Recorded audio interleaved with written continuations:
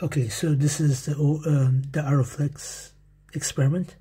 I've just got an arrowhead shape out of the nib uh, and lifted up the cutout section.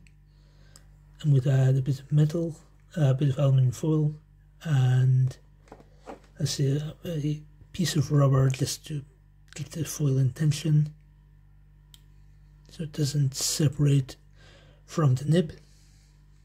I'm going to prime the feed. See if there's ink coming out yet. might not. Is there ink in the converter?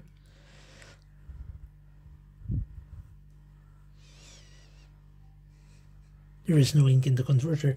Uh, I'm going to quickly just dip it this in ink.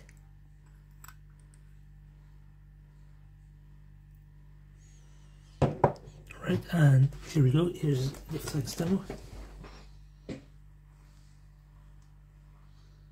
So not insane flex, but pretty decent. And very soft. Good snapback. This is all from one dip. Um, all, all, all, this ink is stored in this over under feed. Um, it's great. Still going. Oh, now it's out. But yeah, thanks for watching.